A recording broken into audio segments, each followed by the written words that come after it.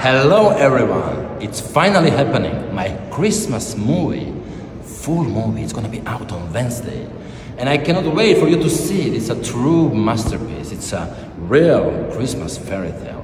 Ho ho ho. And I wish you all a wonderful Merry Christmas. Stjepan Hauser talk about his Christmas movie final date. The Christmas movie is out now Wednesday. The wait is over, and Stjepan Hauser finally given a date of the Christmas movie.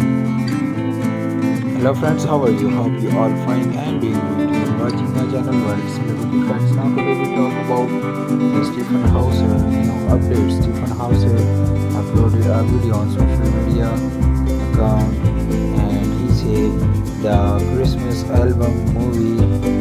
So the wait is over. The Stjepan Hauser Christmas album, the movie is out on Wednesday and uh, we talk about his friend favorite songs. The album song of number three, Amazing, the cello play. A surprise for his fans for the cello music. So guys, are you ready for the Christmas movie on Wednesday?